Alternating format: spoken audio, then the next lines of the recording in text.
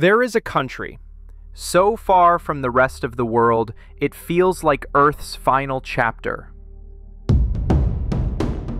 Surrounded by thousands of kilometers of open ocean, New Zealand was the last major landmass discovered by humans, untouched for millions of years. The Maori arrived only 800 years ago, navigating by stars across the Pacific. They carved their legends into wood and stone, their stories woven into the land itself.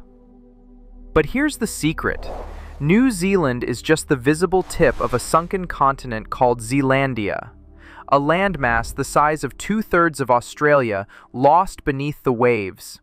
Once part of the supercontinent Gondwana, it broke away 80 million years ago and slowly drowned, leaving only islands above the surface.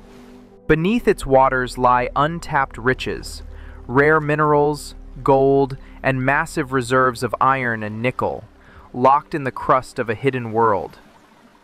Today, Zealandia remains largely unexplored, a reminder that even now, entire continents can hide in plain sight.